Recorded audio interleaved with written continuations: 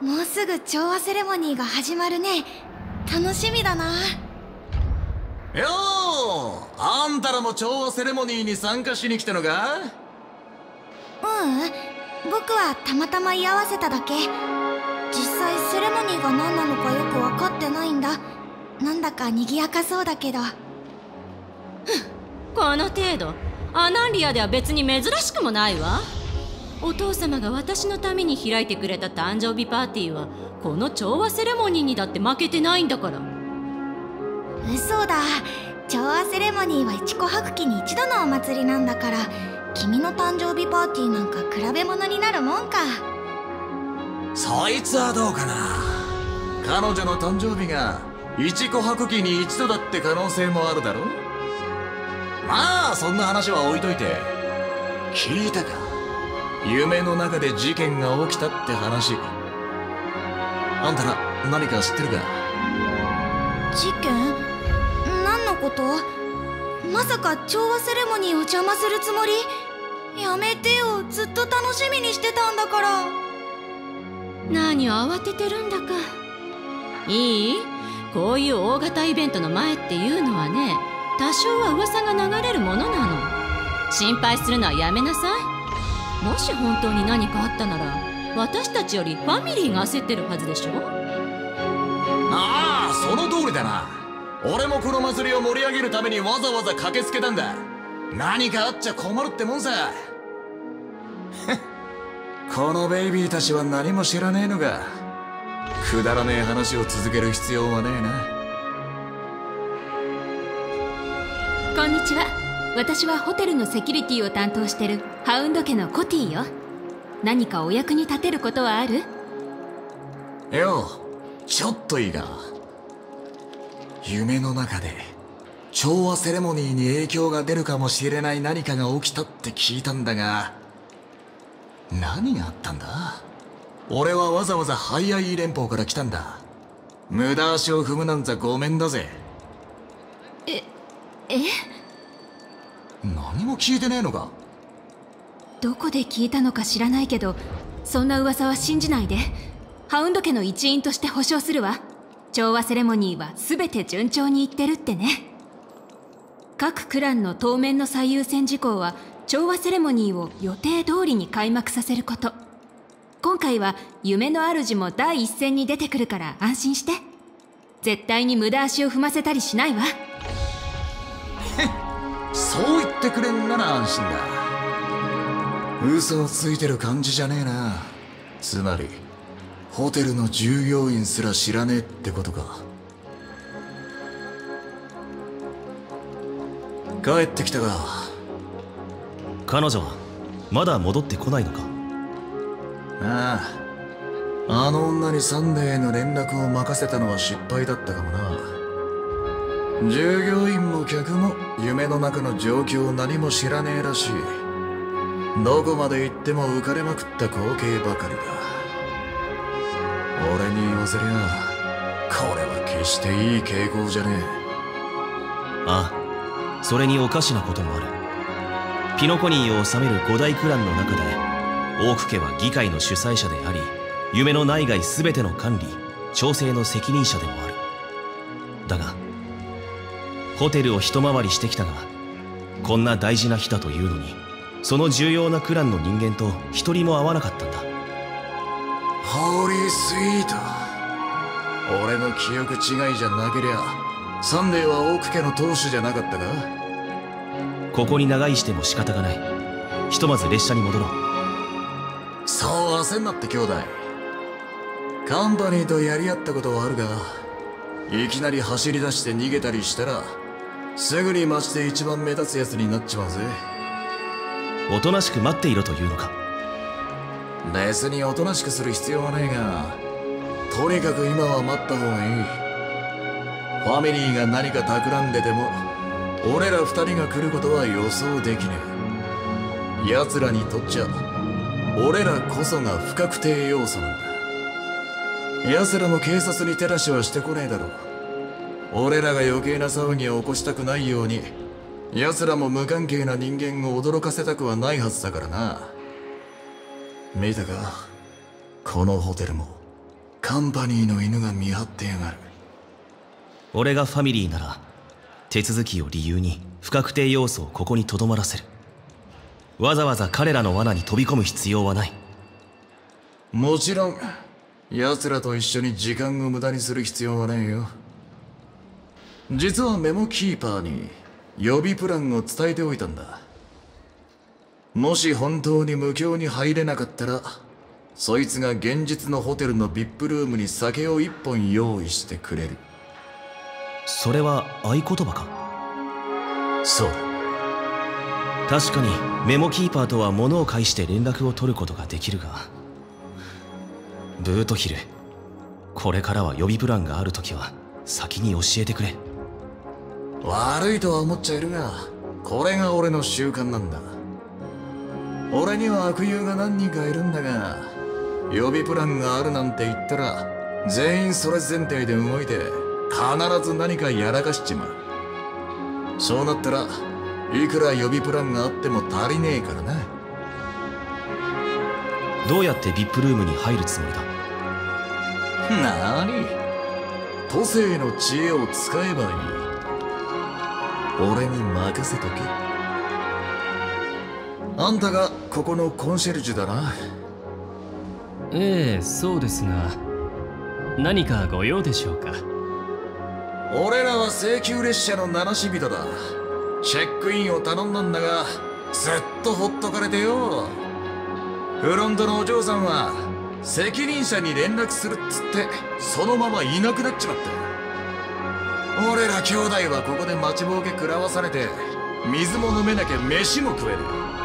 ベイビーこれがファミリーのおもてなしなのか？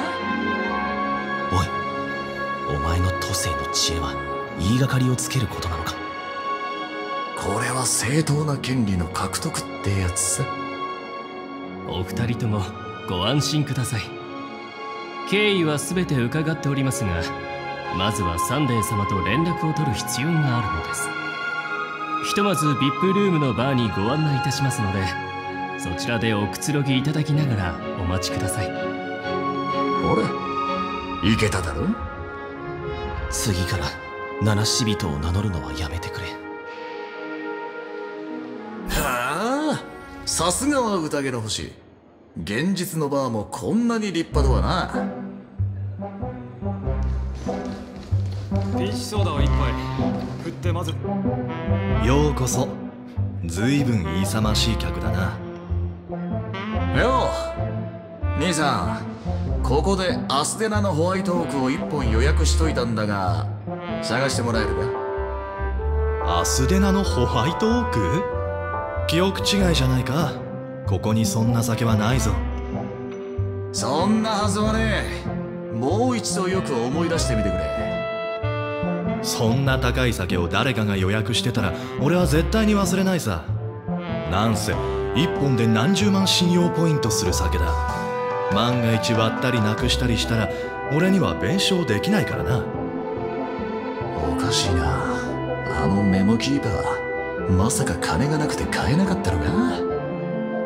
どうする？まあいい。とりあえず何杯か飲もうぜ。俺が早く来すぎたせいであの女が間に合わなかっただけかもしんねえからな。どれどれどんなシングルモルトジュースがあるんだ。ゲヘダ40年ストレートで頼む。そいつはドリンクメニューで一番高いやつだ。君相当の通だな。おごりなら飲まなきゃ損だからな。君は何にする？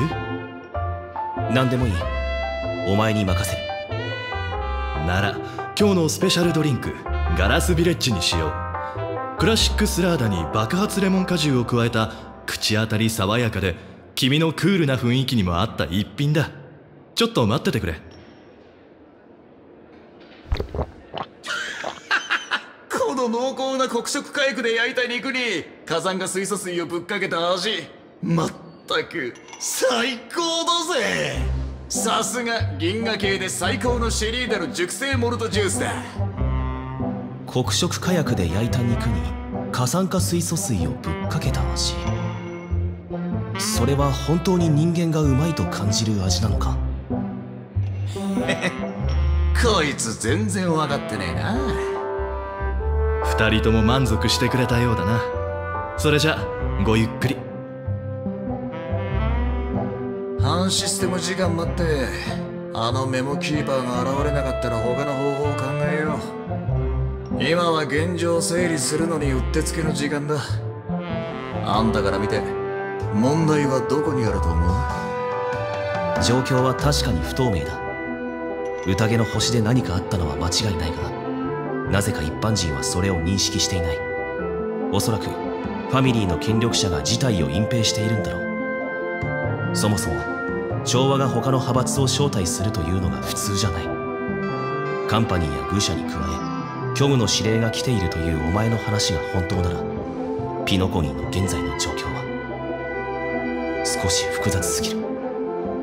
予備に関しては他にも気になることがある。あんたも知ってるだろうが巡視を進行する派閥は銀河の中で最も危ない連中だ。少しでも頭が回る奴なら先週同盟や巡回レンジャーの名を語ったりしない。それは死を求める行為だからな。先週にはこういう言葉があるだろう。低級はただ光の矢を持ってそいつをリンチする。臨時それを臨時とするだ。知ってんならそれでいい。とにかく巡回レンジャーは長い間姿を消してるがその実この宇宙をずっと影から見張ってきたんだ。大抵のベイビーはアナイアライトギャングにちょっかい渡してもレンジャーを怒らせるような真似はしねえ。だがあのヨミってやつは少なくともあいつがしたことを考えるとイかれてるとは思えねえ。むしろ理屈と筋は通ってる。どこで手を引いてどこで踏み込むかわきまえてるんだろうな。そんな人物が巡回レンジャーの名を借りているのは別の目的があるからだと思っているんだな。そう断定したわけじゃねえがなんか引っかかるんだよな。マジで巡回レンジャーに知り合いがいるのかなんか別の理由で俺らを引っ張り出してえのかそれはわかんねえけど。俺はやはりファミリーの異変が気になる。この祭りのために十数種類の運命の後人がピノコニーに集められた。いくらファミリーが寛容だとしても普通ならこんなことはしないだろう。あの招待状が彼らの出したものでないなら別だがこんな状態でもファミリーが調和セレモニーの開催を止めないのは非合理的だ。全部調和のシペの指示なのかもしんねえな。あんたは非合理的だって言うがそれはあくまで人間の尺度で考えたらの話だ。人間ってのは本能的な衝動でバカをやったり自分の利益が関わると原則を捨てたり信じちゃなんねえもんを信じたりする。それどころかベイビー。人間は自分で決めたばっかのルールすら破ったりするもんだぜ。だがアイオンならそんなことはしねえ。ただ最初に決めた道をひたすら突き進む。壁にぶち当たっても方向を変えたりしねえんだ。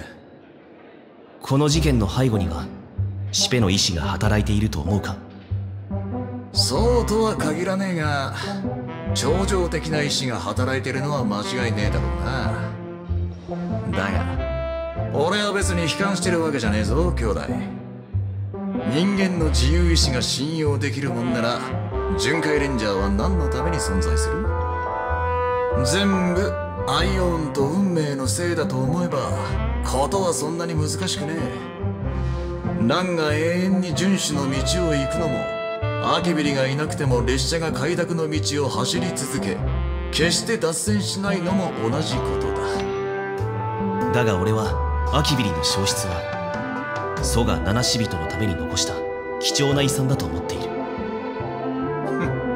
それは絶対的に正しい指導者を失ったことで七死人たちは自分の選択に責任を負わなきゃいけなくなったからか。ああ俺の旅の意味は絶対的に正しい道を歩むことではなく数えきれないほどの道の中から自分の限られた知識と判断でできるだけ自分に合った道を選ぶことだとあんたが何を経験してきたのかは知らねえが人間は自分に責任を負わなきゃならねえって点には賛成するぜ。誰も代わりになんかなっちゃくれねえからな。だからこそ巡回レンジャーは絶対にあの偽物を探し出してあいつが何をする気なのか突き止めなきゃなんねえんだ。万が一あのメモキーパーが現れなかったら俺に予備プランがある。これが最後の一つだ。お前の予備プランは一体いくつあるんだ？俺本当はあんま回りくどいの得意じゃねえんだよな。いつものやり方ができるならもう少し楽なんだが。炭鉱あんたホテルを一周したって言ってたが身分の高そうな客とかそういう集団は見かけなかったが何を考えている？決まってんだろ。こっそり何人か縛って人質にすりゃあとはどうとでもなる。ファミリーとの交渉もそいつらの身分を語って。ダメだ。今すぐ列車に戻るぞ。なんでだよ。ビビってんのか兄弟。その槍は飾りか。今こそ度胸を見せる時だろうが。二人とももう行くのか？じゃあ今さっき注文したアスデナのホワイトオークはキャンセルでいいな？ああ？アスデナのホワイトオーク？あんたさっきはないって。二人とも少し酔ってるみたいだな。たった30秒前にアスデナのホワイトオークを注文したばかりじゃないか。どうやらお前のメモキーパーの友人が来たようだぞ。ああそうだ俺擬態を改造しすぎて忘れっぽくなっちまったんだった見せてくれベイビー。マジでアステナのホワイトオークじゃねえか。あ？なんか書いてある。請求列車で待ってるわ。彼女からのメッセージで間違いなさそうだな。おそらく俺たちが一緒にいることもホテルが安全ではないことも知っていたから人目を避けられる場所に移動したんだろう。局大回りして請求列車に逆戻りかよ。おいグズグズしてねえでさっさと行くぞ。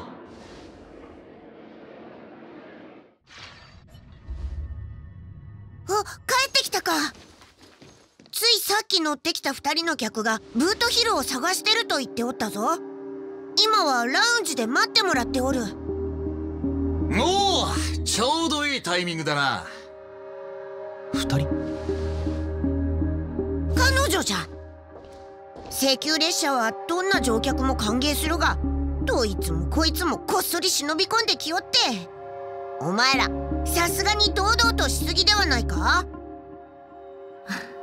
ごめんなさい車掌さん。失礼をお詫びするわガーデンの人間には慣れていると思ってしまって。今ピノコニーの情勢はとても複雑で。信頼できるのは七死人の皆さんだけなの。お前が例のメモキーパーか？はじめまして炭鉱さん。とは言っても私は他の人の記憶の中で会ったことがあるけど。そしてブートヒルさん。あなたとも実際に会うのは初めてねアスデナのホワイトオークは気に入ってもらえたかしら？まったく。ずいぶん手に入れにくいお酒を注文してくれたわ。そんなことよりよくも探し回らせてくれたなメモキーパー。早速だが知ってることを洗いざらい話してもらうぜ。もちろん。でもその前に自己紹介させてちょうだい私はブラックスワン。ガーデン・オブ・リコレクションのメモキーパーよ。そしてこちらのヨミさんについては彼女自身に話してもらった方がいいでしょう。はじめまして読みだ。はあ？ホーリーベイビー。おい、ガーデンの俺を裏切ったな誤解しないでくれ。これは私が頼んだことなんだ。訳あって、ピノコニーから追放されてしまって。このメモキーパーが一緒に来てくれたおかげで、密かにファミリーの支配から抜け出すことができた。実際には一緒に来たんじゃなくて尾行してたのよねやり方も決して密かにとは。まあそう思っているならそれでいいわ。私は彼女にファミリーの目の届かない場所へ連れて行くこと。そして信頼できる人へ連絡するよう頼んだ。つまりあなたたちだ。信頼？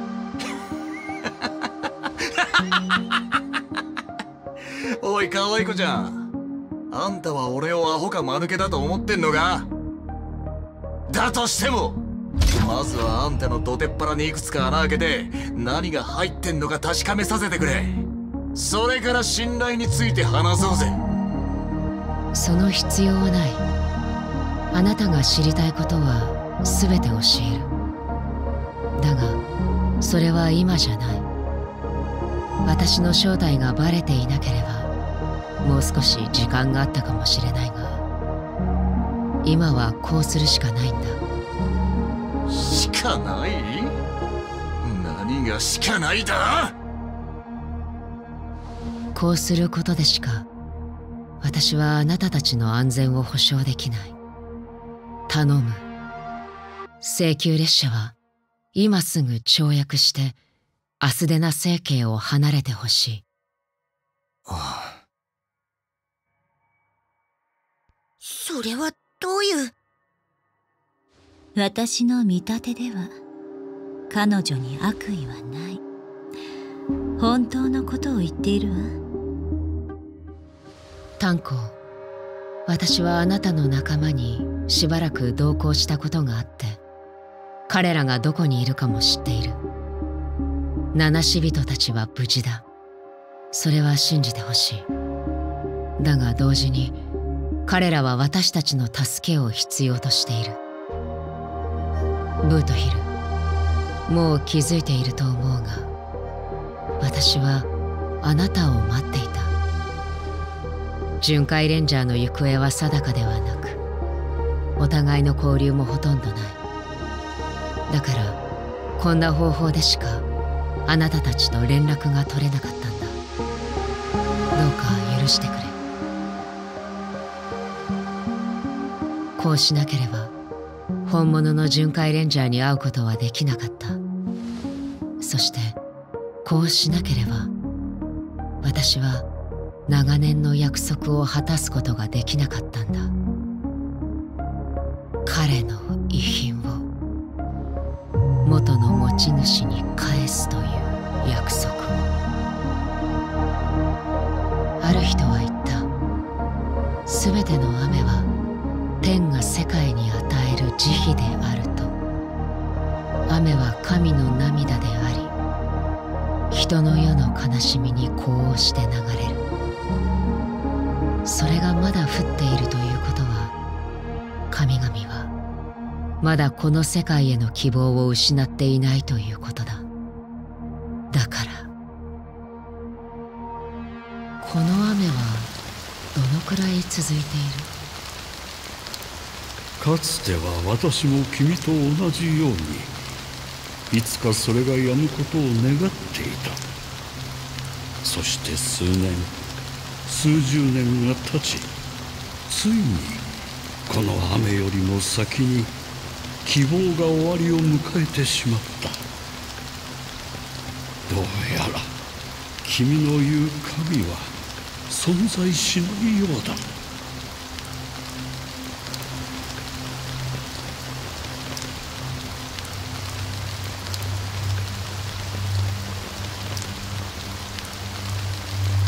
さて私の方からも一つ昔話をさせてもらおう。凡人が運命の道を歩むというのは小舟に乗って水面を渡るようなものだ。曲がりくねった跡を残しながら可能性という名の無数の波紋を広げていく。一瞬にして過ぎ去る。人間の一生に比べこうした波はいつまでも消えることはない。そして中にはその存在の痕跡が強烈すぎてその一筋の波に自分の影を残してしまう者もいる。海面の影のよう血在霊運命の後人の執念それはイックスの影から生まれ自らを当事者だと思い込み無意識に個人の生前の行いを繰り返す。それは虚無から生まれ虚無へと向かい無意味な生涯を送る。だがそんな虚しい幻影の群れもかつては私の大事な仲間であり巡回レンジャーの一員だった。あなたはあれを見守っているのか？見守私はあいつらをあの世へ送っているんだ。あれは悲惨な戦争であり宇宙を揺るがした大討伐だった。宇宙は絶滅対空チューラの死を目撃したがその代償は実際に経験した人間を除いてそれを覚えている者はいないだろう。遵守の意志は命が尽きても消えることはない。だから誰かがその魂を導いてやらなければならないのだ。彼らは皆生前は英雄だった。死後に虚無の傀儡になり下がるべきではない。そして私もあの戦場で多くを失い二度と旅に出られなくなった。だからこそその役目に最もふさわしい人間になったのだ。だがあなたはこれらの血罪霊が結局彼らではないことを知っている。君から見ればこの行いに意味はないか？しかし意味はなくともやらなければならないことはある。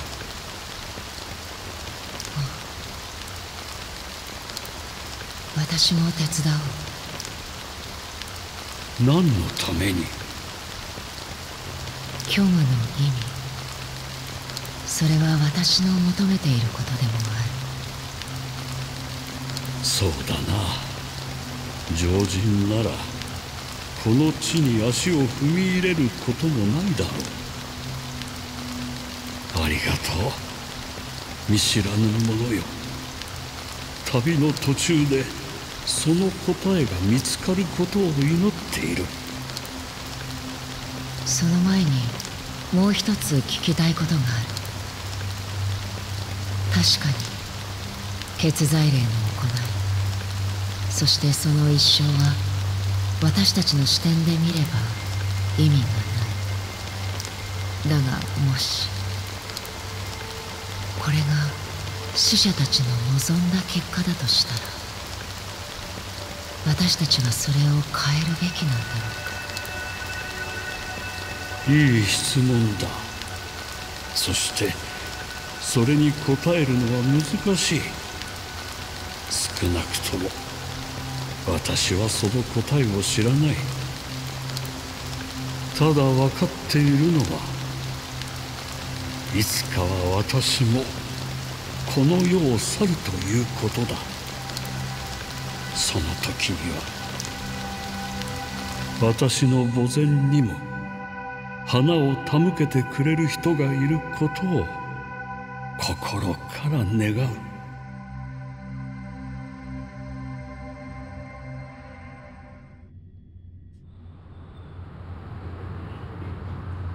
我らが幼子であった時には幼子らしく語り幼子らしく感じまた幼子らしく考えていた。しかし大人となった今は幼子らしいことを捨ててしまった。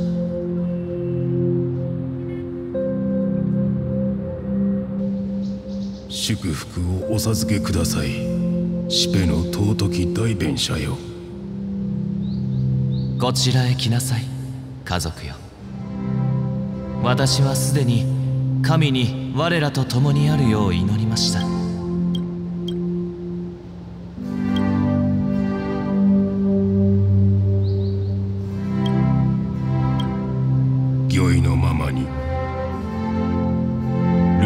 家に仕えて10年。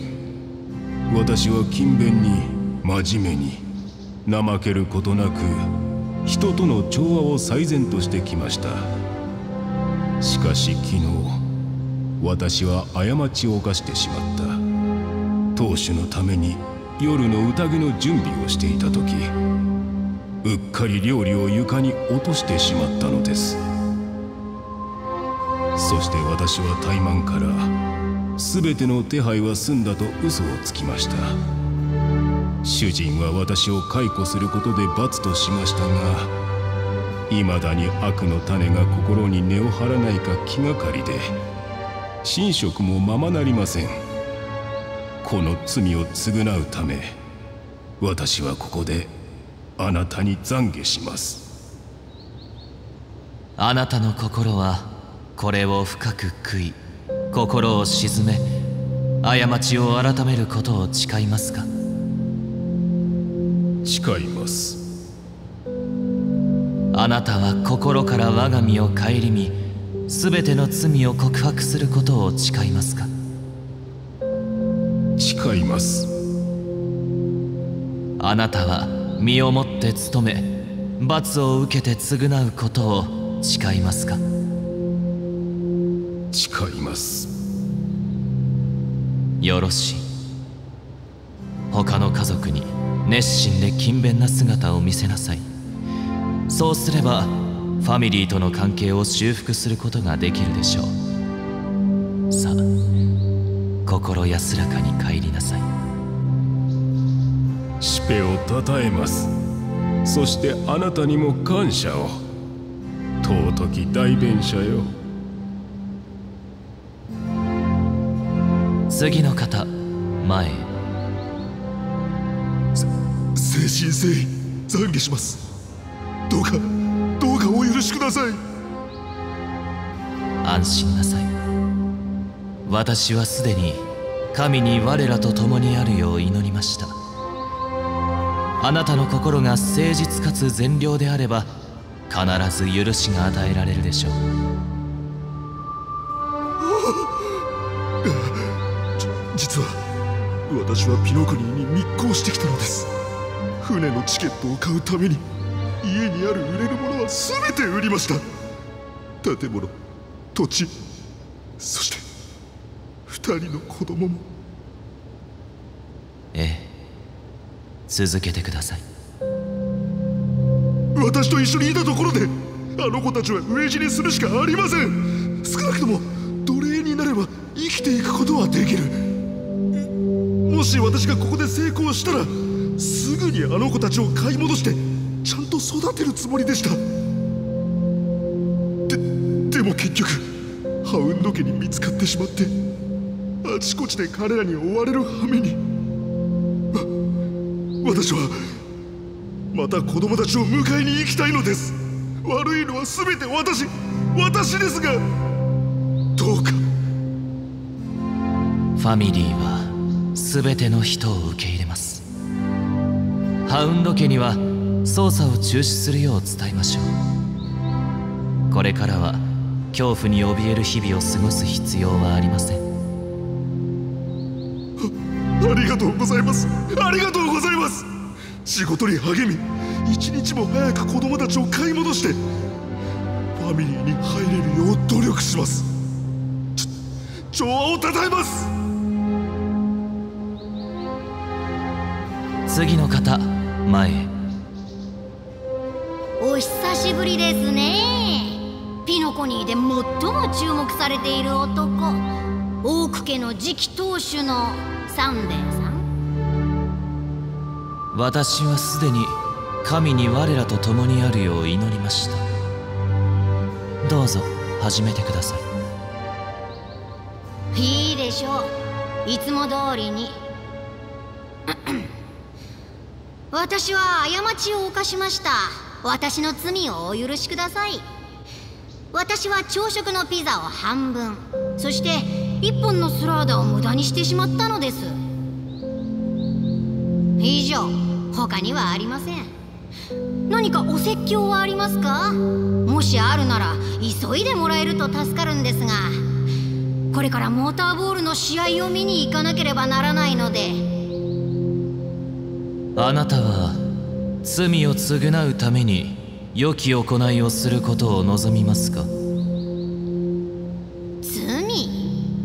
随分と成人ぶるようになりましたね。いいですか？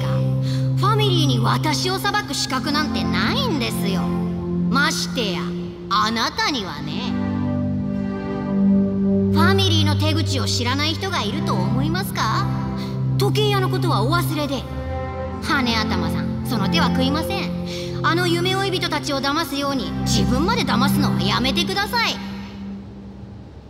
今後は聖句を唱える前によく考えた方がいい。大奥家が今の地位にあるのもあなたがここにいるのも異色に不自由なく上から目線で人々を見下ろせるのも誰のおかげなのか。今日の国会は調和の楽園に入るのに十分ですか？では私はこれで。あなたが選ばれることを祈っていますよ。は 損はさせないでくださいね。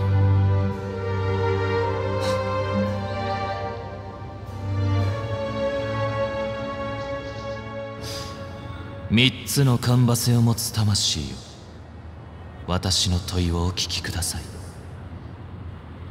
もし強者が権勢と富をもって罪を覆い隠せるのなら誰が彼らを裁けるのでしょう？もし弱者が生きるために代価を惜しまないのなら誰が彼らに保証を与えられるでしょう？もし善なる魂が過ちを犯したなら誰が彼らを慰めることができるでしょう？強きをもって弱きを助けることこそが楽園の根幹なら誰が彼らを苦しみの中で嘆かせるのでしょう。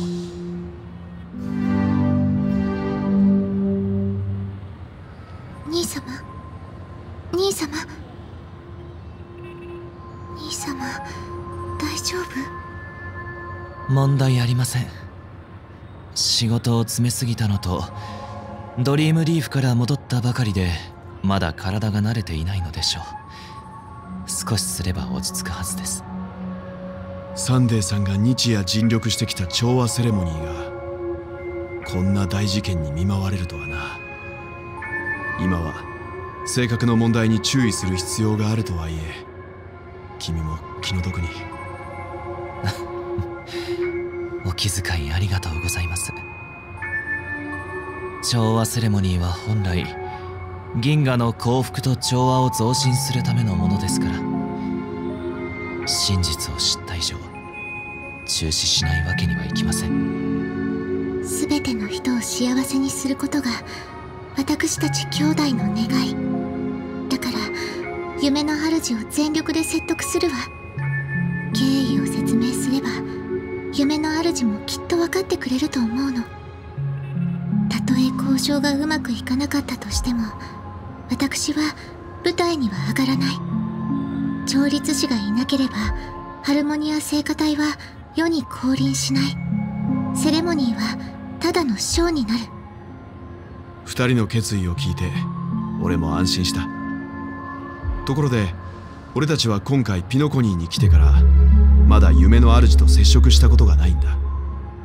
五大クランの話なら少し耳にしたが夢の主に関する情報はほとんど得られなくてな。夢の主は普段人前に姿を現さないので私たちもめったに会うことはできません。ですが今回の件は重大ということもあり彼は自ら出向いて話し合いをすると約束してくれました。ベルトさんはきっとここ数年で初めて夢の主に会うゲストになるわ。みんなが納得できる結論を出せればいいんだが。ええ。そうなるといいですね。そろそろ時間だから私と兄様は面会の準備をしないと。ろくなおもてなしもできなくてごめんなさい。大丈夫だ。俺はここで待っていよ。う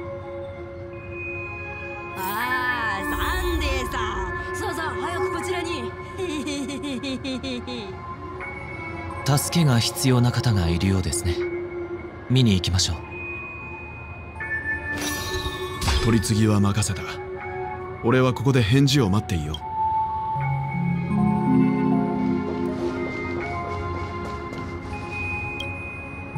サンデーさんこれはどう思う？見えますか？あの空の月。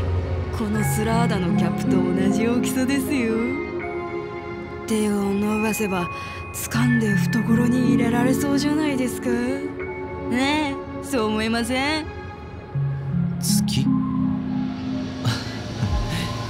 大劇場のことを言っているのですか？ええええ。私と来たらきっと家を長く離れすぎたせいであの月が恋しくなったんでしょうね。ええ。でもそんなのはどうでもええ。我らがピノコニー大劇場は月よりずっと明るくて美しい。目の保養だ。あいつら家財道具を売り払ってまでピノコニーに行くのはやめろなんて言ってきましたが。まったく浅はかな考えだ。家財道具を全部売る。どうしてそこまで。どうしてどうしてって故郷の暮らしは苦しくて人間らしく生きることができなかったからですよ。やっぱりピノコニーはいいここには美しい夢しかない。苦しみもなく明日のために悩む必要もなくやりたいことは何でもできる。これこそが生きているということだ。最高これは本当に生きていると言えるのお嬢さん今なんて言いましたよく聞こえなかったんですが何でもありませんほらグラークス通りは車が多くて危険ですハウンド家の者に近くのエディオンパークまで送らせますからそこで引き続き美しい夢を楽しんではいかがですか？ああええ。あなたの言う通りですね。さすがは美しい夢の導き手。私の救世主だ。それではまたサンデーさん。話付き合ってくれてありがとうございました。ええ。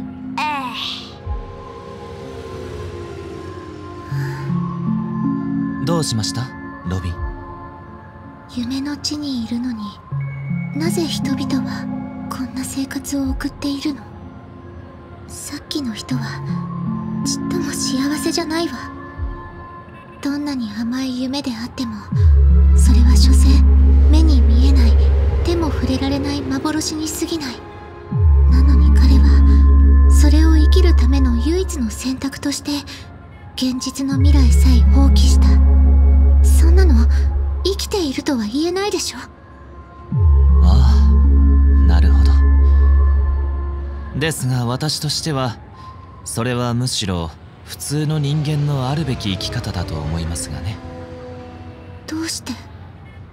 あなたはさっきあの方が美しい夢で命をつないでいることを生きているとは言えないと言いましたがそれは違いますピノコニーがなくても人々はそれぞれの幻覚の中で生きている。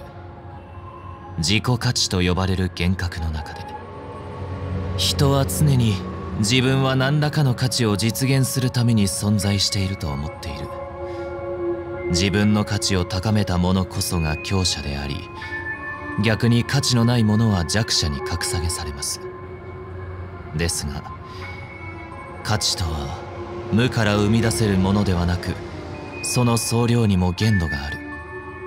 そのため価値を実現するには他者から奪わなければなりません。こうして弱者たちは搾取され抑圧され。兄様はそんなことはあってはならないって言いたいのよね。はい。しかし皮肉なことに人々はそれが間違っているとは思いません。なぜなら彼らは一貫してその儚い自己価値を絶対の基準としてきたからです。それは弱者も同じこと。適者生存。弱肉強食。世の中にあふれる全ての悲劇はそれに由来しています。そしてピノコニーが美しい夢とされているのはそこから抜け出したいと考える人々に安眠の地を提供しているからに他なりません。ここに悲劇はなくただ幸福だけがある。雛形だけではありますがね。これこそ私たちが思い描く楽園の姿ではありませんか？さっきの人は特例だったのかもしれない。結論を出す前に自分の目で確かめた方がいいわね。ドリームリーフの時のように。ええ。大事なのは自分の目で確かめることです。私も一緒に行きましょう。夢の主はまだ来ていませんからもう少し見て回る時間はありますよ。ロビンさんまた会いましたね。調和セレモニーの準備は順調ですか？みんな楽しみにしていますよ。順調よ。ありがとう。遠路はるばる調和セレモニーに来てくれて嬉しいわ。とんでもない。宇宙各地から来たお客さんと一緒に昼も夜も大騒ぎできるんですから。ちょっとした移動なんて苦じゃありませんよ。私は孤独が嫌いで退屈な生活には耐えられないのでこの楽しい無境が肌に合ってるんです。でもこんな日がいつまでも続いたら飽きてしまわない？飽きるわけありません。楽しみが多すぎて嫌になる人間なんていると思いますか？毎日綺麗な服を着ていろんな夢の泡を好きなように体験できていくら食べても太らなくて病気にもならなくて年も取らない部屋代さえ払えばここは最高の楽園です。でもあなたも知っているでしょ？無境から現実に持ち帰れるものはとても限られているって。だから持ち帰らずに夢の中で遊び尽くそうと思っています。私は長命種じゃないので寿命はせいぜい670年。あんまりたくさんのことを気にしていたら楽しくなんて生きられませんから。この美しい夢の中でなら私は自分で自分の人生を決められて本当に自由に生きられる。こんな旨味を味わってしまったら帰りたいと思うわけがないでしょ？分かったわ。あなたの幸せを心から願ってる。私もロビンさんの公演が成功することを願っていますそれじゃあ私はブルーの時のダンスパーティーに行くのでこれで失礼しますね。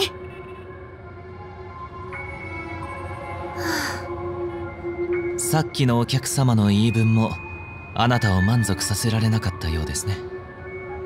いいえ彼女の言うことは理にかなっているし心から幸せを感じていると思うわ。ただ。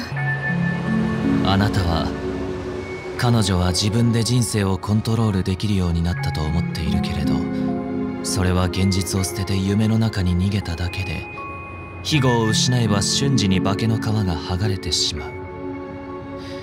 そう言いたいのですか？ええ。結局彼女も部屋代について言及していた。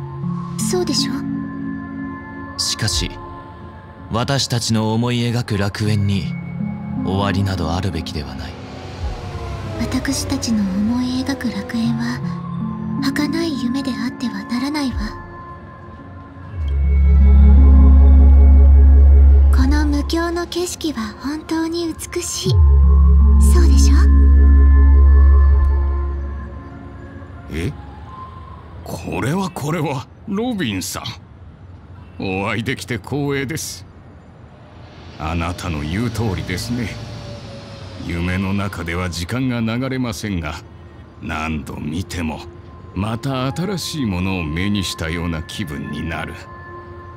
素敵な考え方をする哲学者ね。お邪魔になっていないといいのだけれど。いいえ私はもう長くありませんのでむしろ誰かと話ができるなら嬉しい限りです。ましてやあなたのような尊い女性が相手ならなおさら。よろしければ少しお話ししませんか？喜んでお相手するわ。さっきもう長くないと言っていたわよね。失礼を承知で聞くけれどあなたはそのためにピノコニーに来たの？そう。私は戦場に出たことがありましてね。そこで宋空の母艦から出た際放射線を帯びた鉄の塊に頭を打たれてしまいまして。その後戦友はみんな死に故郷も何度かの中性子線の爆発で溶けてなくなりました。何もかもを失いこの命も長くはありません。しかしこの地ならまだ方法があると聞いて私はここに来たのです。なんて痛ましい。ファミリーがあなたの苦しみを取り去ってくれることを願うわ。ファミリーはもう十分やってくれましたよ。心から感謝しています。彼らは私のために快適な部屋全銀河の最先端の生命維持装置。そして十分な数の介護士まで手配してくれました。今私の体はドリームプールに固定され生命維持装置に頼って生きている。あなたの見ている私は傷跡もなく意識もあり普通の人と変わらないでしょう。ですがホテルにいる私はそうではありません。私の本当の姿。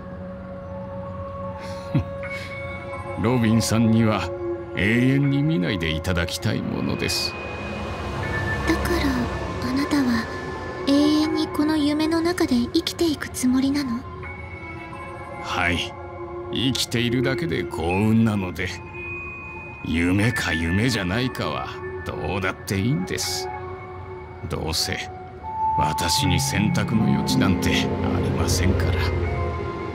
私の世界はもともと不完全なものなので次の瞬間消えてなくなってしまうかもしれません。だからたとえ無境が偽りであったとしても私にとっては楽園なのです。ここにいる。1分1秒が愛おしい。ああ永遠に変わらないものが羨ましい。あのお年寄りのお話があまりにも悲しくてこの美しい夢が彼の余生に幸せな思い出を残してくれてよかった。ピノコニーの美しい夢が存在する意味です。でも美しい夢にも限界があるわ。それは失意に暮れた人々が荒波を避けるための防波堤でしかなく現実の苦痛を根本から断つことはできない。いずれ全てがうまくいきます。ピノコニーはすでに正しい道を歩んでいるのですからあらあら。この可愛いお嬢さんは誰でしょう？えあれは私？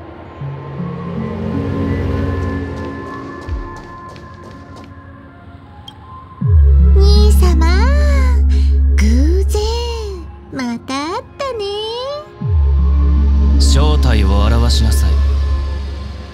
あなたのトリックは私たちには通用しません。人を欺くことに長けた仮面の愚者も招待されていると聞いたけどあなたのことみたいね。楽しんでいるかしら？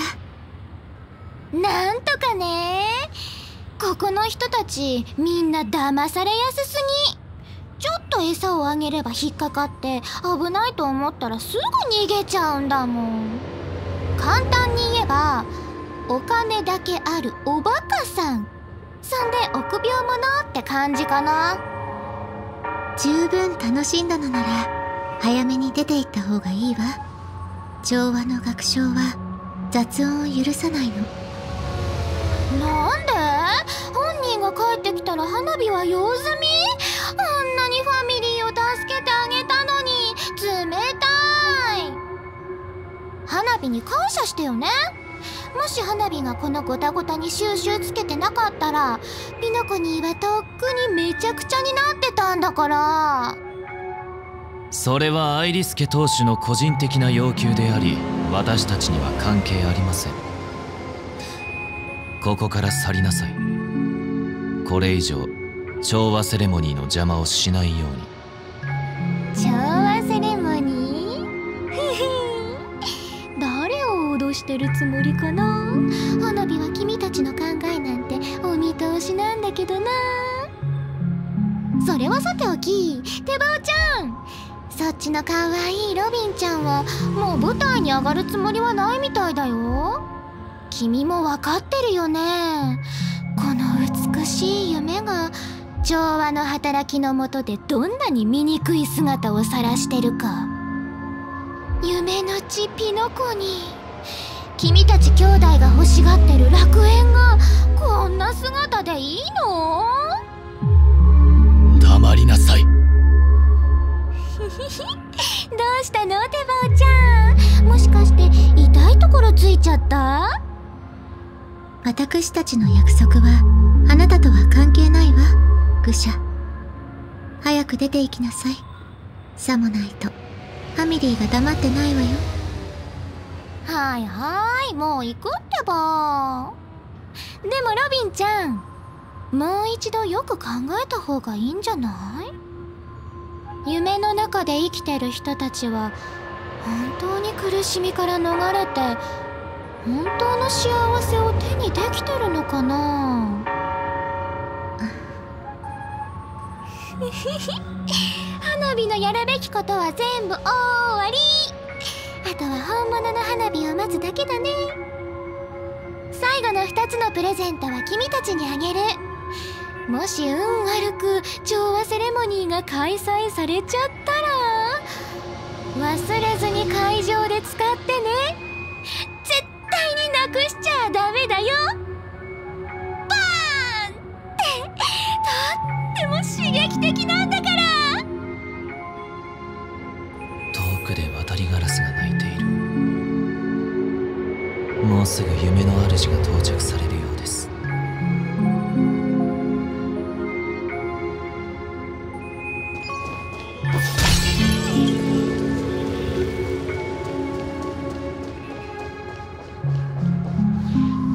ここが良さそうですね。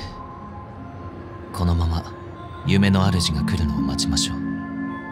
ええ。ところで兄様もう甘いものは食べなくなったって。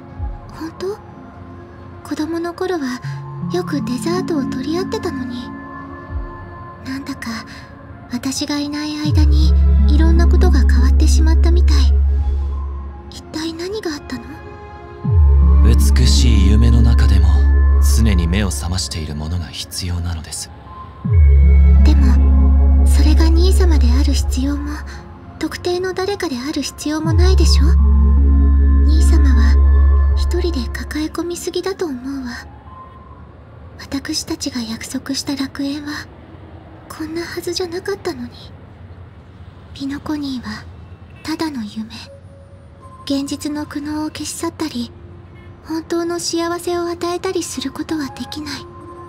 できるのは現実逃避の場を提供すること。ただそれだけ。さっきのお年寄りを覚えていますか？この夢がなければきっと今頃彼は取り返しのつかないことになっていたでしょう。そうね。でもピノコニーがなくても彼は別の人生を歩めていたかもしれない。私の知る限り博識学会はもう彼の状態に対応できる医療技術を普及させているわ。その生き方は退屈で困難なものだったかもしれないけれど。それももう関係ない。今の彼は昏睡状態の中で美しい夢という名のターミナルケアを受けている。そしてその結末はすでに決まっているわ。ピノコニーはそういう人たちに未来を与えたのかしら。それとも奪ったのかしら。その前にあなたは全ての人が未来に迎えるわけではないということを知っておく必要があります。人にとっての未来は鳥にとっての空に等しい。人が空を飛ぶことを鳥の天性だと思うのは地に落ちて死んだ鳥を見たことがないからです。子供の頃に拾ったあのハーモニーピジョンを覚えていますか？私たちがそれをどうやって世話したのかも。私たちはあの子を大切に鳥かごで育てた。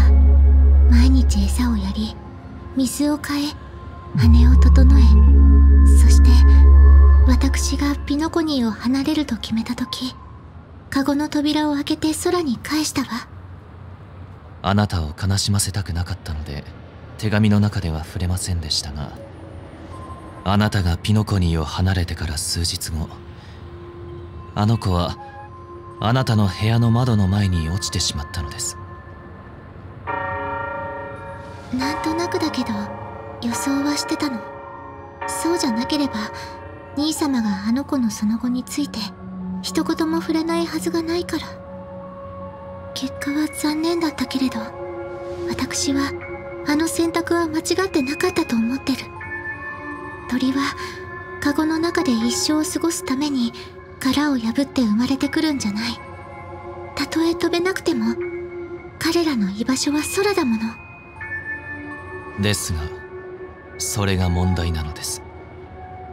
もしこの世に一生飛べないひな鳥がいたとしたら私たちは空こそが彼らの居場所だと断言していいのでしょうか。兄様は人間もそうだって言いたいの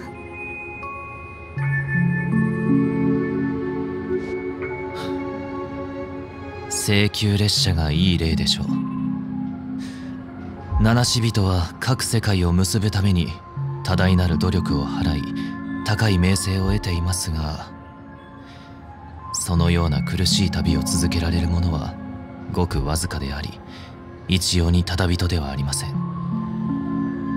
開拓の道は決して凡人に背負えるものではない。そうでなければなぜかの運命は一度レールが断たれ列車は廃棄されアイオンも消失したのでしょうか。そんなのへりくつだわ。その理論でいくなら未来は英雄たちの特権ということになるじゃない。残念ながらそれが現実なのです。未来の別名はまさに自己価値世の中には確かに英雄が存在し人々は彼らに憧れ賛美していますがほとんどの一般人は生涯英雄になることはできません。生まれつき弱い者後天的に不幸に見舞われた者卑劣と臆病の前に屈した者。いろいろな人がいますが生存というテーマの前では誰もが平等で自分の価値が略奪され続けるのを見ていることしかできないのです。そう。だからこそ私たちは弱者に愛情と配慮そして十分な援助を与えなければならない。自分を愛するように他人を愛する。調和の歌もいつもそう教えてくれているわ。調和の志は遠大ではありますがこの憂いのない夢の中でも強者は常に強く弱者は常に弱い。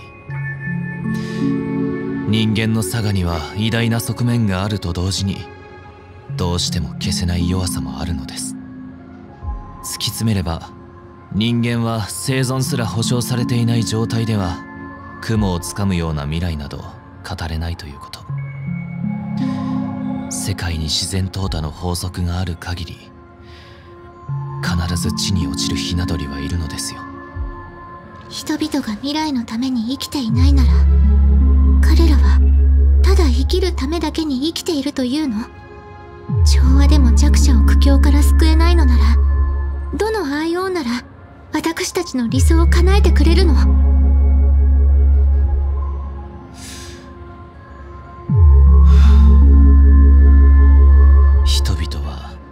いつも忘れてしまう。かつて最初の鳥が空を飛んだ時世界が期待したのはもう二度とひな鳥が地に落ちなくなることだった。ロビン本を読んでるの？何の本？ゴフェルさんがくれた絵本。調和修験のお話だよ私が調律師になったらハルモニア聖歌隊ドミニクスを召喚したいの。みんなと一緒に歌って私たちの願いを伝えてみんなに幸せと喜びを感じてもらいたいから。そっか。じゃあ僕もハルモニア聖歌隊にしようかな。お兄ちゃん自分の願いはないの？もちろんあるけどそれには君の願いもみんなの願いも含まれてるんだ。誰もが安らぎを得られる本当の楽園が欲しい。それが僕の願いだから。そしたらその中にステージを作って私たちのショーにみんなを招待しよう。そうすれば私の願いもお兄ちゃんの願いも叶えられるよ。ハルモニア聖歌隊の力で。いいね。じゃあ約束しよう。うん約束。でもどうすれば調律師になれるのかな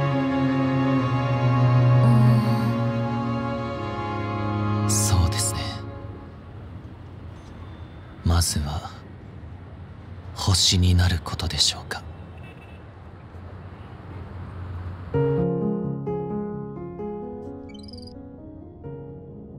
思ったより早く帰ってきたな。成果はあったか？ええ。今度は私たちが道を切り開く番よ。ふん。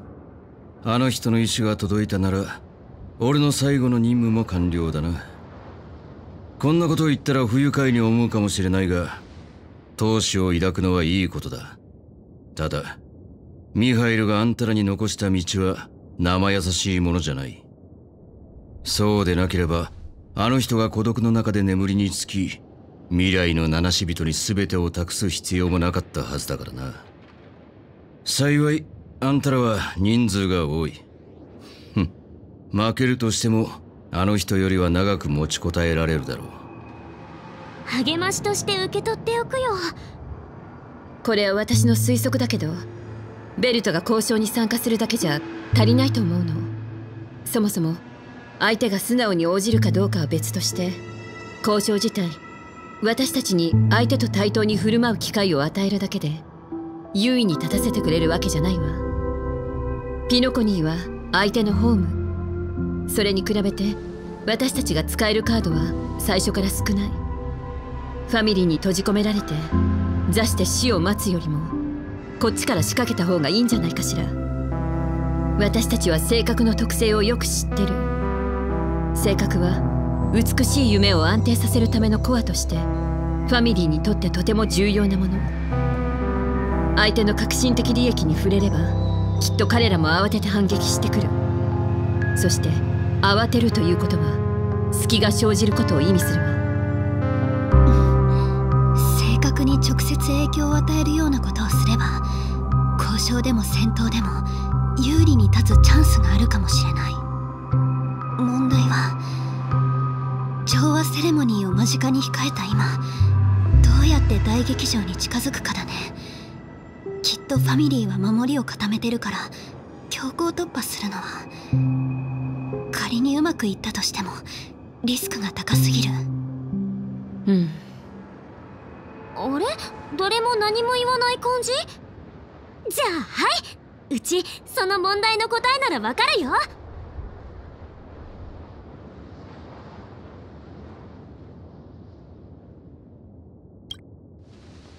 なんか軽減将軍みたいな言い方だね。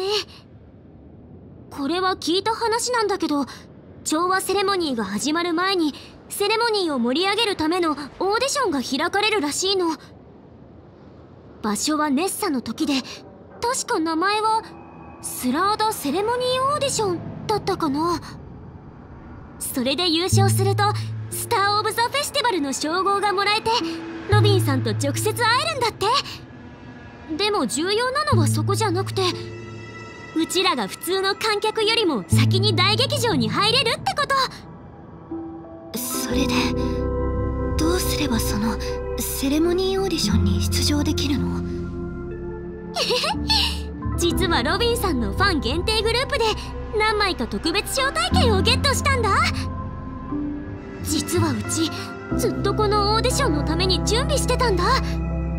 でも今の状況を考えるとそこで運よく目立てたとしてもロビンさんと握手するチャンスはないだろうな。まだそんなことしてたのか。もともとはアミアイルが人目を引くために始めたおふざけだったんだがな。まあ試してみる価値はありそうだ。美月ちゃんの言う通りにしてみましょう。ギャラがあんたは私たちと一緒に行く？いやおそらく俺にその時間はない虚構の人物として俺は最後の任務を終えた。ピノコニーが夢から覚めることができるかどうかはあんたら次第だ。もしまた会えたらぜひ列車に遊びに来てね。分かった。その時は列車のアーカイブにもう少し情報を追加してやろう。え？そしてホタルここまで助けてくれてありがとう大きな脅威を前にした今請求列車と性格ハンターという間柄とはいえ目的が一緒ならあんたの力を借りたいわ。せっかくここまで来たんだもん。私も一緒にピノコニーでの旅を続けたい。最後にあなたたちとタッグを組めるなんて嬉しいな。これは私たちがたどり着ける最高の結末だよ。これこそ開拓の旅の意味ね。それじゃあみんな出発しましょう・よう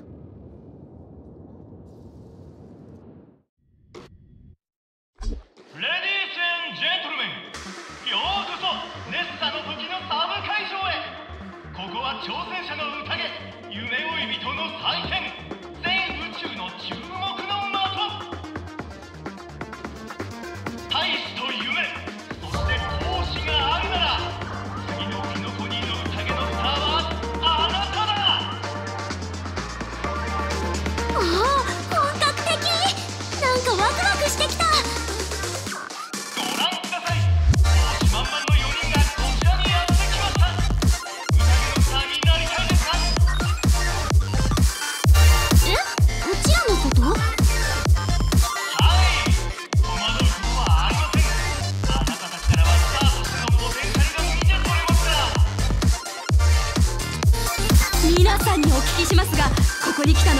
何を手に入れたいからですか？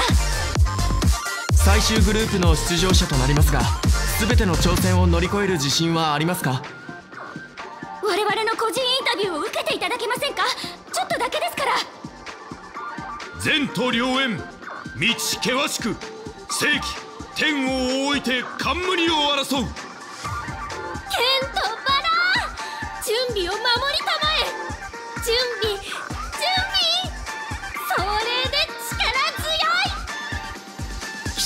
頭が固い。ランは融通が利かない。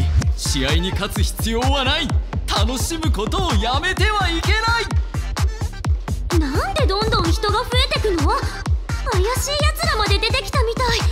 早く試合を始めよう。みんなすまない。どいてくれ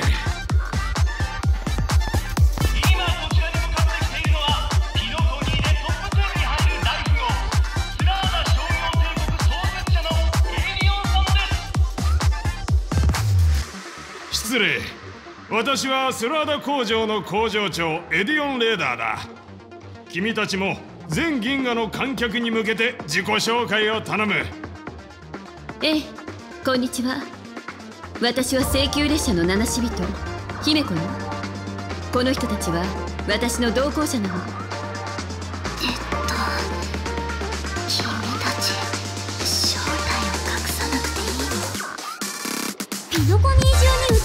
スターが貼ってあるんだからどうせ隠せっこないって。でもみんなが請求列車を知ってるからこそファミリーに軽々しく手を出してこれないんだよね。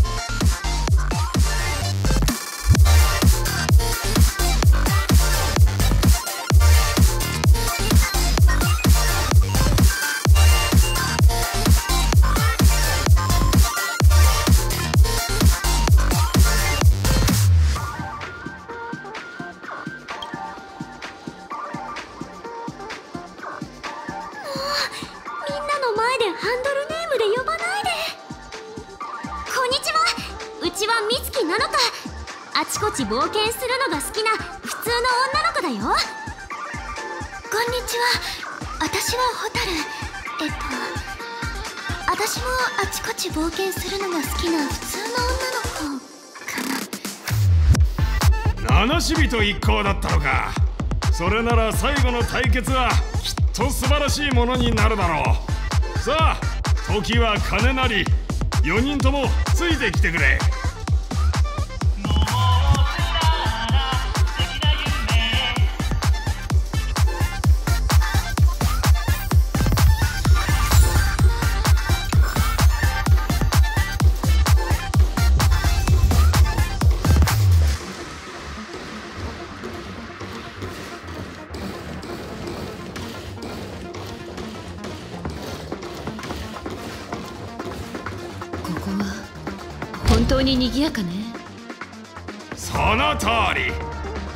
ディション会場はまさにあの可能性にあふれた時代の縮図なのだ。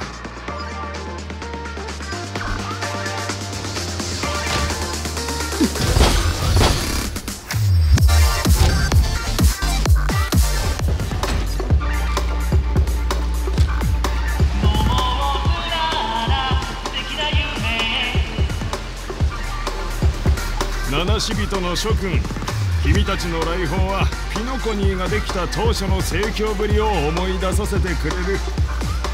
あの時の私はまだ若造だったが時計屋の広告を見て情熱を持って故郷を離れここに来て人生を築くための元手となる金を稼いでいた。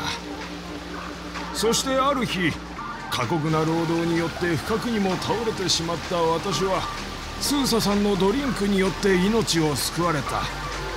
それ以来その甘美な味は私の脳裏に深く刻まれ現在のスラーダを生み出すきっかけとなったのだ。夢を追う時代とはそれほどまでに素晴らしいもの。あの時代も時計屋も懐かしい。この熱佐会場はその可能性に満ちた時代を記念するために作ったのだよ。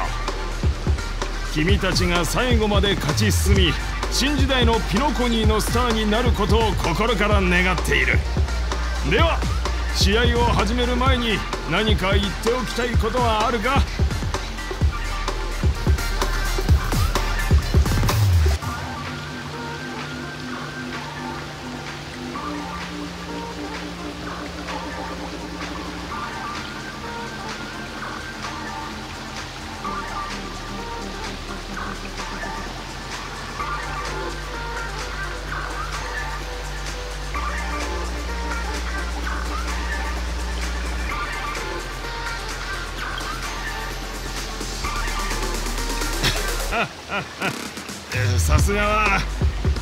最悪の事態を考える開拓者だ。ちょっとその敗北主義っぽいこと言う癖直しなよ。美月なのかさん君は？えっと観客の皆さんこんにちは。これからクリアスピードの記録を塗り替えるスーパー美月なのかの大冒険をお楽しみに。未知なるものを開拓して極限に挑戦するさすがは美月なのかさん。蛍さんは？旅の終わりに。みんながそれぞれ望む結末にたどり着けますように。なんと素敵な祝福だろう。姫子さん君は自分のチームに何を期待しているのかな？みんなが無事でいてくれることかしら？ははとても素朴で温かい言葉だな君たちを待ち受けるのは3つのステージだ。どのステージもその時代に関係していて最初の2つのステージにはそれぞれ2つのルートがあり各ルートにはユニークな挑戦が用意されているぞ。そして最後のステージでは今もその地位を守り続ける守護者後期で品格のあるチャンピオンに挑むことになる。ルールはこれくらいだ。勇者諸君分かったかな？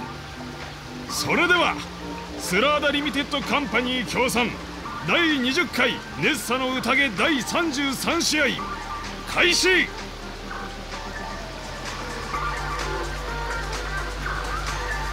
みんな調和セレモニーの時間が迫ってきてるわ。できるだけ早くゴールにたどり着かないと。ここは効率と安全を考えて2人1組で行動するのがベストだと思うの。私と美月ちゃんは蛍と知り合ったばかりだしお互いのことをよく知らないから。あんたが彼女と組んだ方がうまくいくかもしれないわね。異議なし。そうしよう。うん。私もそれで大丈夫。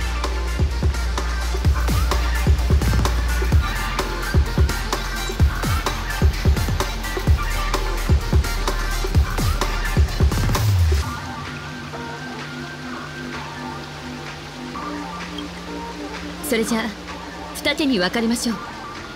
みんな急ぐわよ。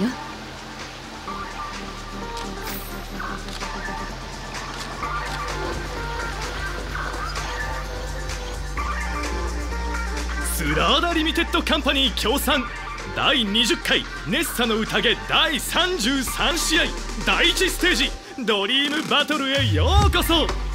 このステージでは演技派かアクション派の2つの挑戦から好きな方を選ぶことができます。演技派の挑戦では3つの脚本に基づいた演技をして会場の審査員を感動させてください。アクション派の挑戦では3組の敵を素早く倒してゴールにたどり着く必要があります。それでは選択してください。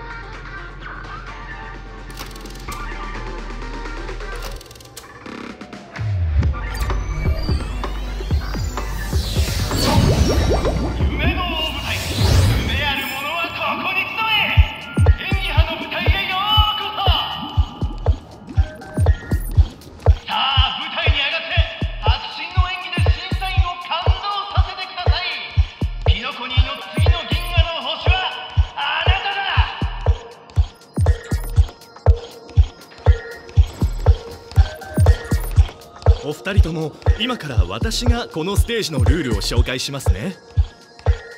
この先には全部で3つの舞台がありそれぞれの舞台では脚本のあらすじを1つ手に入れることができます。その3つの脚本はいずれも映画界の大御所時計屋が書いたものでピノコニーの開拓時代におけるさまざまなエピソードが描かれていますので当時の状況を想像しながら適切なセリフを言いふさわしい演技をして脚本が伝えようとしている感情を審査員に体感させてください。お二人の健闘を祈っています。ちなみにこのステージの最高記録は赤髪の選手が打ち立てたものなんですよ。彼の見事な演技には一番厳しい審査員でさえ涙を流して高い評価を与え演技じゃないみたいと言っていました。時間がないから早く終わらせよ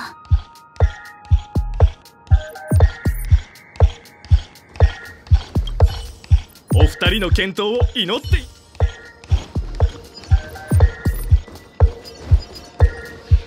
あらこの魅力的な2人を見てスターの顔つきをしているわ。あなたたちがペアで出場するなら2人で演じるシーンを用意しましょう2人とも。準備はいい？あなたたちが開拓者として感銘を受け初めてピノコニーの地に足を踏み入れたシーンを思い浮かべて。ここは砂人が空を覆い荒涼とした土地で時計屋の言っていた楽園とは大違いだった。無境の荒野をボロボロの車で走っていると冷たい風が吹きつけ口の中に砂が入ってくる。して凶暴な記憶域ミームが道を塞いでいる。さ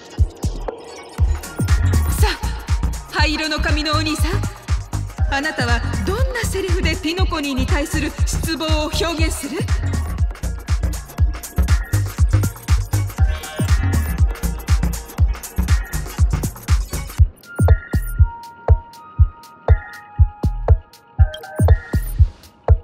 よろしい。次にあなたは失望しているけどパートナーは逆にとても興奮しているみたい。さあそちらのお嬢さんあなたは何て言うのかしら？す素晴らしい。私こういうし刺激的な生活が好きなの。とても気持ちが入ってるわね。そして物語は次のシーンに移る鉄道建設の仕事を見つけたあなたたちは昼も夜も懸命に働いた。でもやがて体力が限界を迎え砂漠の奥地で倒れてしまった。すると突然空から降ってきた雨があなたたちの唇を潤して奮起の心を目覚めさせた。さあ灰色の髪のお兄さん。この時の驚きと喜びを表現するのに最も適したセリフは？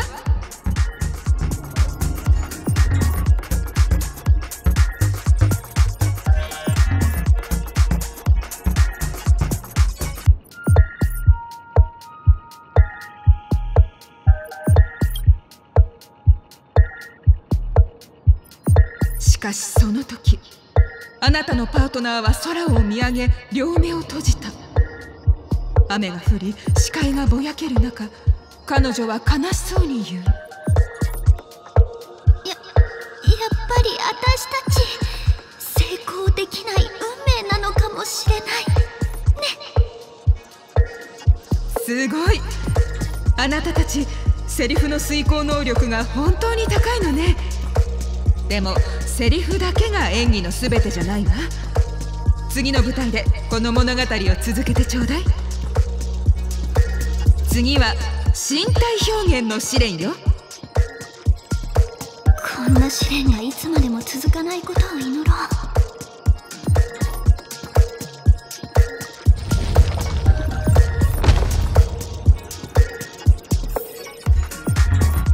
あなたたちセリフの遂行能力が本当に高いのね。素晴らしい成績を収められるよう祈ってるわ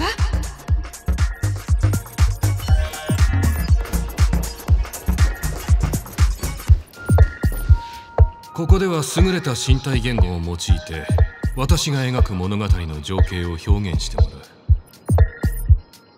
う。さあ前回の続きからだ。大雨は砂漠に倒れた君たちを救いその心の中にあった怒りをかき消した。君は闘志を完全に失った隣の仲間を見つめ彼女を慰めようとする。この時彼女を笑わせるためにどんな行動をとるべきか。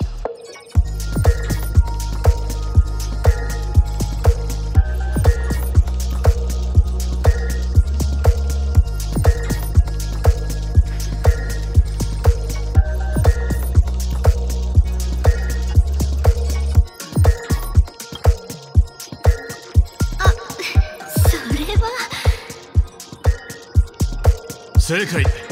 仲間は砂の中を転がる君を見てこの旅のさまざまな困難を思い出した。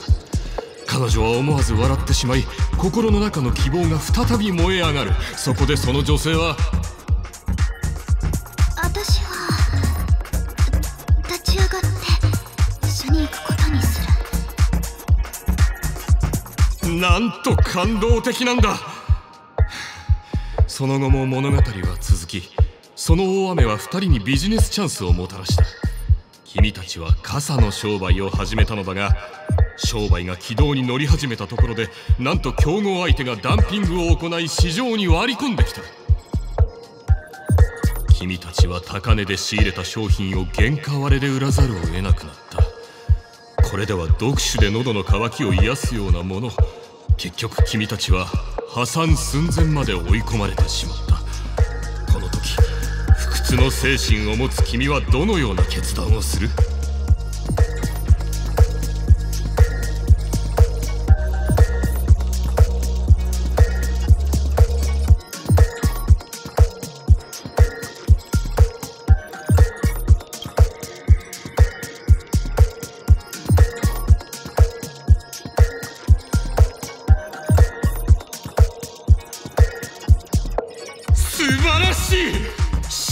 残念ながら君の仲間は納得していないようだ。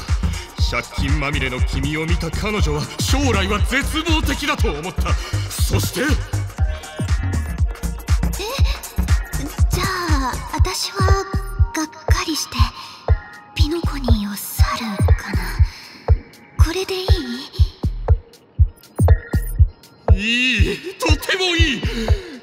ちの卓越した演技の才能に私も泣いてしまいそうだ。だが本当の挑戦はここからだ。君たちはこのオーディション史上最も厳しい審査員を相手にすることになる。さあ完璧な演技で相手を圧倒するんだ。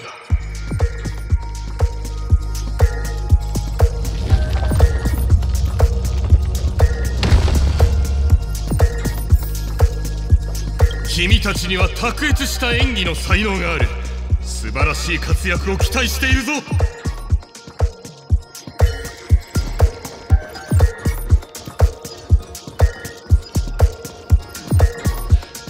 最後の舞台へようこそ。実はあなたたちが演じてきたシーンは全て映画「夢追い物語」のものなの。同じ道を歩む二人が夢を抱いて裸一貫でピノコニーへやってきた。彼らは成功を夢見ていたけど幾度となく挫折を味わうことになる。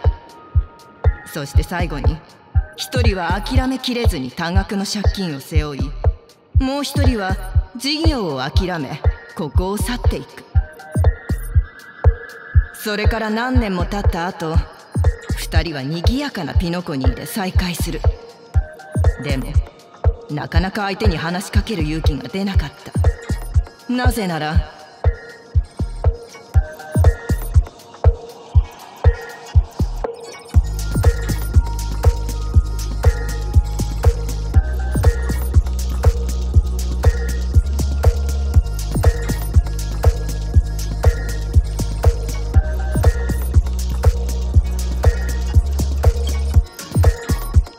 生まれ変わったピノコニーであなたたちは互いに見つめ合う。再会の喜びと別れの悲しみ。そして見知らぬ人に会ったような気まずさと再会の照れくささが一気に湧き上がってくる。さあこの喜びと悲しみが交錯する一幕を正確な演技で私に伝えて。これじゃあキリがない。いっそのことあれを使ってみあのクロックトリックってやつ。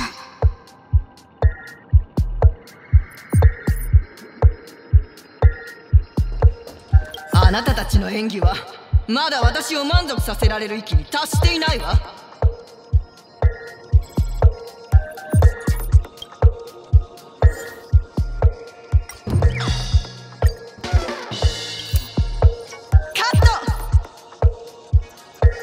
ト裸一貫から身を立てた富豪がかつての仲間にあそこまで軽蔑的な態度を取るなんて怒りを感じずにはいられないわ。え私たちまだ何もしてないんだけどちょっと想像力が豊かすぎない？あなたたちの演技は原作を超えてる。これはまるでまるでじゃないみたい。試練は突破できたけど先を急ごう。性格の方が大事だもん。裸一貫から身を立てた富豪が最高得点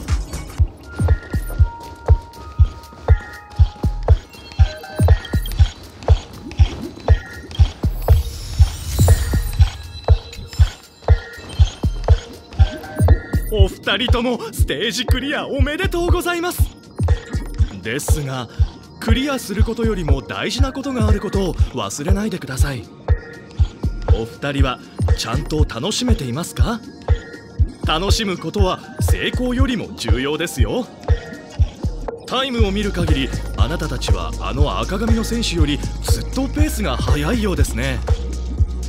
その赤髪の選手って一体誰なの？それはそのうちわかるでしょう。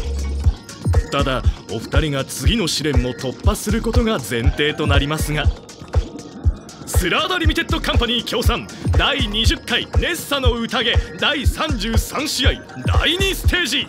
銃と時間へようこそ。銃を選びブラザーハヌの試練に挑戦するか時間を選んでクロックボーイの試練に挑戦するか。さあ選択してください。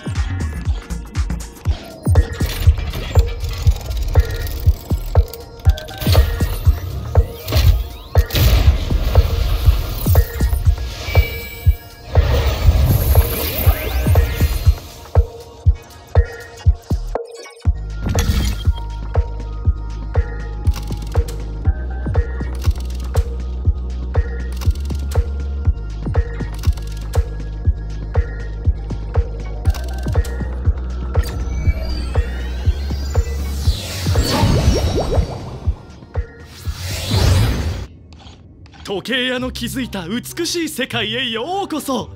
この先であなたたちを待ち受けているのはクロックボーイのアニメシリーズで正義であると同時に悪でもある魅力に満ち溢れたキャラクターブラザーハヌです。一説によるとこれらのアニメキャラは時計屋の実体験からインスピレーションを得ているんだとか。クロックボーイ研究者によれば現実世界のブラザーハヌのモデルはかつて時計屋と深い友情で結ばれていた戦友のような存在だったそうです。入り口のテレビからブラザーハヌの世界に飛び込むことで彼とスリリングで素敵なストーリーを体験できます。無事にクリアできることを祈っていますね。銃の試練ってことは戦いで問題を解決できるはずだよね。あんまり時間を無駄にしないで済むといいけど。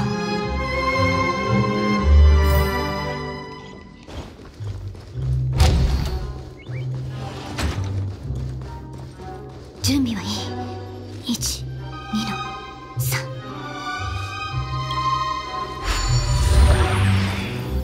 私たち一緒にブラザーハヌを操作してるの？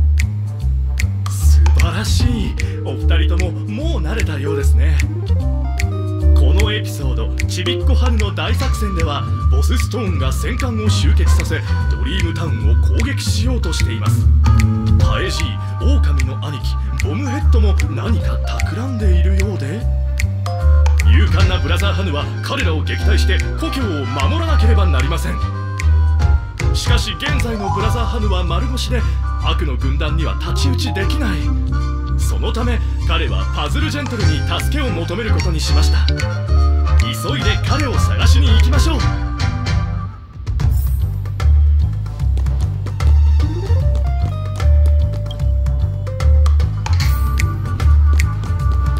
おやこれはこれは勇敢なブラザーハーヌ助けが必要なようだね。久しぶりだねブラザーハヌずいぶん焦っているようだけどスリリングなドリームメイクパズルでリフレッシュしたいのかい？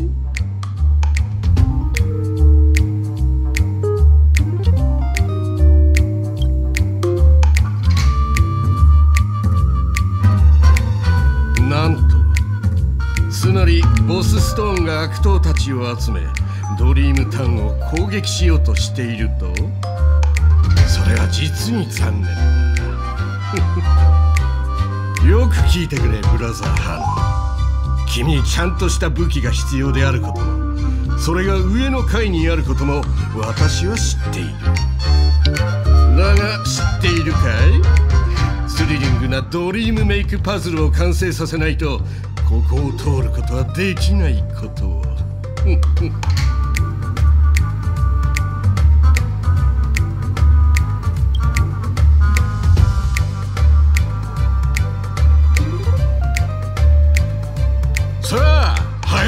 だブラザーハヌ気をつけた方がいい。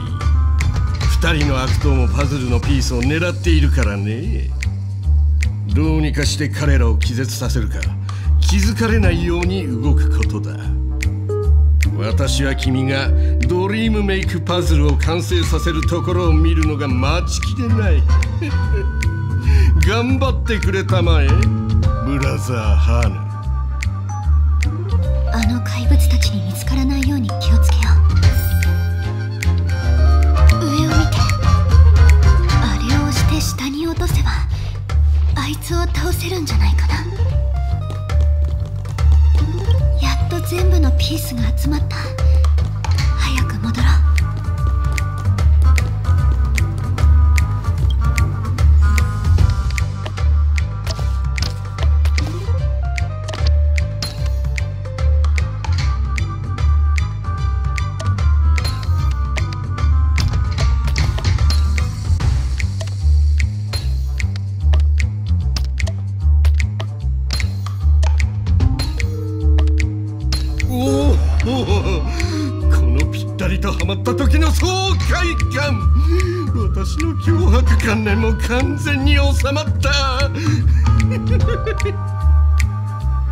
く行くといいブラザーハヌ。あのテレビに触れ元の姿に戻るんだ。そして上の階へ行けば君の武器がそこで待っているはずだ。こんな適当な